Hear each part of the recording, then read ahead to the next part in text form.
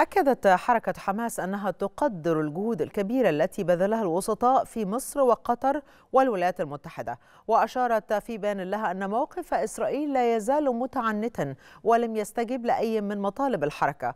وأضافت حركة حماس أنها ستدرس المقترح الإسرائيلي الذي تسلمته خلال جولة المفاوضات الأخيرة بالقاهرة وستبلغ الوسطاء بردها.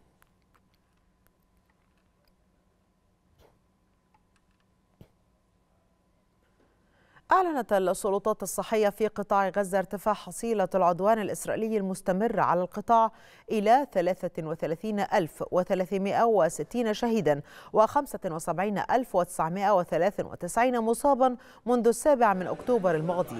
وفي تقريرها اليومي أشارت السلطات الصحية في غزة إلى استشهاد 153 شخصا وإصابة 60 آخرين على أيدي قوات الاحتلال الإسرائيلي خلال الساعات الأربع وعشرين الماضية.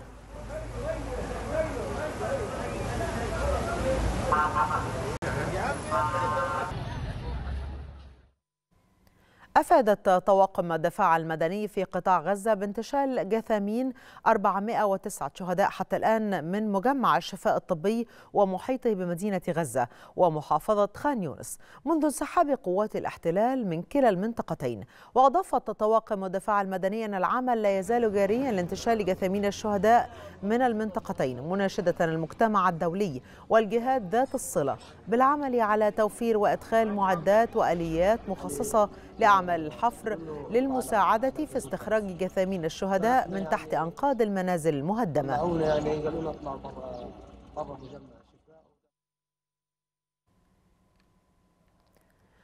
قال رئيس الوزراء الإسرائيلي بنيامين نتنياهو أن إسرائيل ستكمل القضاء على كتائب حركة حماس بما في ذلك تلك الموجودة في مدينة رفح الفلسطينية. وأضاف نتنياهو أن إسرائيل لن يمنعها شيء عن تحقيق هدفها بالقضاء الكامل على حماس.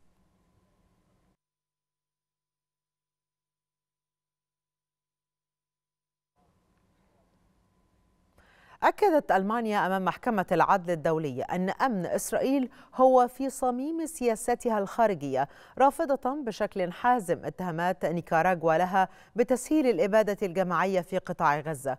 وخلال جلسة الدفاع قالت المتحدثة باسم ألمانيا أمام محكمة العدل الدولية قالت إن برلين لا توفر أسلحة إلا بعد دراسة دقيقة تتجاوز شروط القانون الدولي مشيرة إلى خضوع إرسال ألمانيا لأسلحة أو عتاد عسكري آخر إلى إسرائيل لتقييم متواصل للوضع على الأرض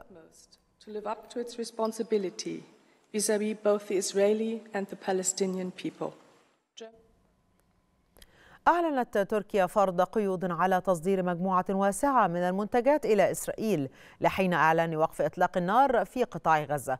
وأوضحت تركيا أن القيود ستطبق على تصدير منتجات من 54 فئة مختلفة تشمل الحديد والرخام والألومنيوم والأسمدة ومعدات ومنتجات البناء ووقود الطائرات وغيرها.